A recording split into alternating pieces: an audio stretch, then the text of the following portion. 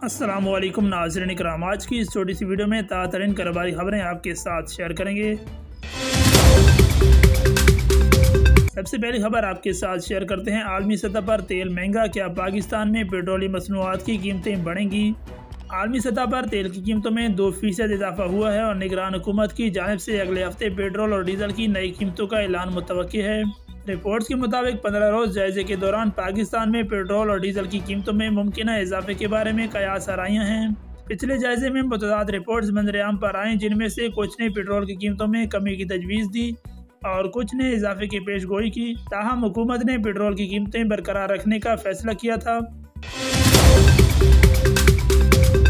और दूसरी खबर आपके साथ शेयर करते हैं। लोकल सरिये की कीमत में मजीद पाँच हज़ार रुपये फ़ी टन का इजाफा। मुल्क में लोहे की मसनूआत की कीमतों में इजाफा तेज़ी से जारी है। लोकल सरिया की कीमत में मजीद पाँच हज़ार रुपये फ़ी टन का इजाफा हो गया है।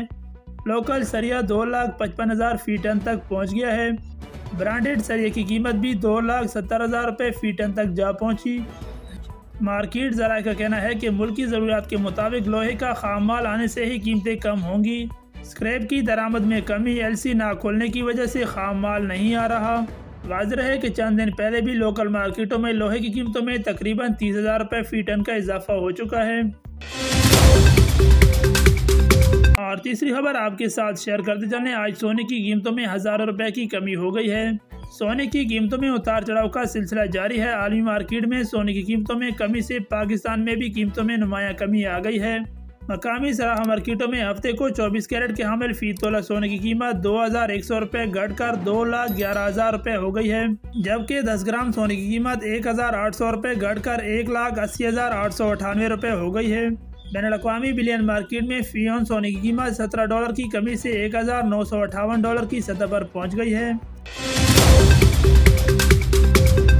और चौथी खबर आपके साथ शेयर करते चले, सीमेंट की परचून कीमत में कमी हो गई।